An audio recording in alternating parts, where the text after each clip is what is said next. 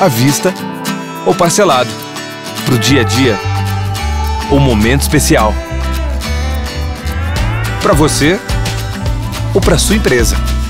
No Brasil ou no exterior. Quando passa o cartão Sicredi, muita coisa passa do cartão para você. Sempre que você usa, fortalece sua cooperativa e sua região. Cartões Sicredi, uma linha completa que coopera com você. Sicredi, gente que coopera cresce.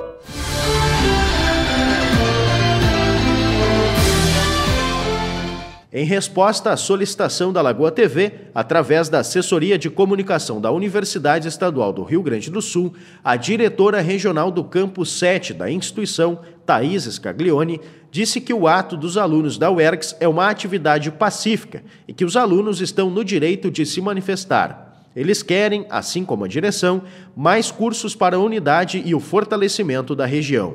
A diretora afirmou ainda que no dia 31 de março a reitora da universidade esteve na unidade de Tapes e conversou com a comunidade acadêmica.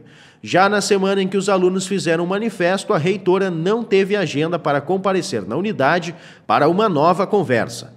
Mas poderá, no dia 5 de maio, quinta-feira, conversar com os alunos através de solicitação.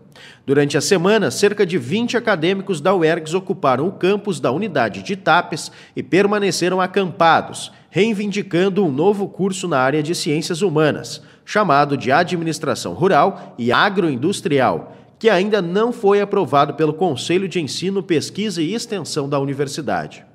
O vice-presidente do Diretório Acadêmico de TAPES, Ederson Gustavo, disse que a solicitação para conversar com a reitora foi deliberada no dia 22 de abril, dia anterior ao fechamento da agenda, e que, mediante conversa com a reitora, ela teria sinalizado a possibilidade de vir a TAPES. Como a votação para o curso acontece nesta segunda-feira, 2 de maio, os acadêmicos acreditam que não haverá aprovação, uma vez que houve um parecer técnico da Superintendência de Planejamento da Universidade, constatando que não há viabilidade do curso em TAPES. O vice-presidente do diretório acadêmico disse ainda que não há interesse de conversar com a reitora no dia 5 de maio, uma vez que a data é posterior à votação sobre o curso. Na segunda-feira, os acadêmicos devem ir até o gabinete da reitora para acompanhar a votação dos conselheiros.